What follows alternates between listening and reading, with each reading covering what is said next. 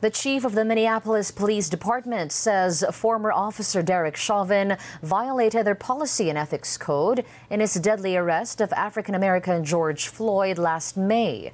More from day six of the murder trial in this report.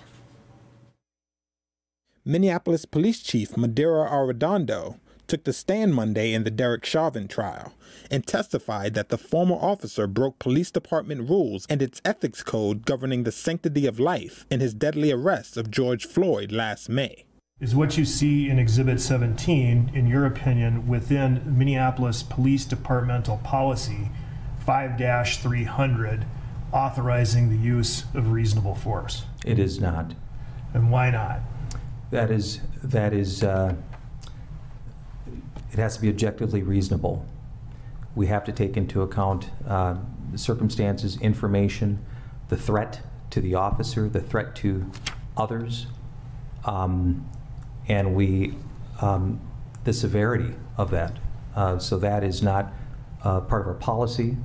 That is not what we teach. Prosecutors have called Arradondo and other officers to weaken Chauvin's defense that he did only what he was trained to do in his 19 years as a cop. Chauvin's defense team on Monday countered that sometimes use of force was necessary to de escalate a situation, suggesting that Chauvin's detractors had the benefit of hindsight and distance that Chauvin didn't have in the moment. So when's the last time that you've actually, I don't mean to be dismissive, but actually arrested a suspect? It's been many years, sir. Yeah. Video of Floyd's arrest showed that Chauvin kept his knee on Floyd's neck for more than three minutes after Floyd appeared to have stopped breathing and none of the police officers at the scene attempted to give Floyd first aid care. Dr. Bradford Langenfeld, the emergency doctor who took over Floyd's care, undercut the defense's argument that Floyd's death could have been a drug overdose or a heart attack. Did you uh, consider uh, the possibility of toxins, for example, being uh, responsible for Mr. Floyd's cardiac arrest, including potentially drugs?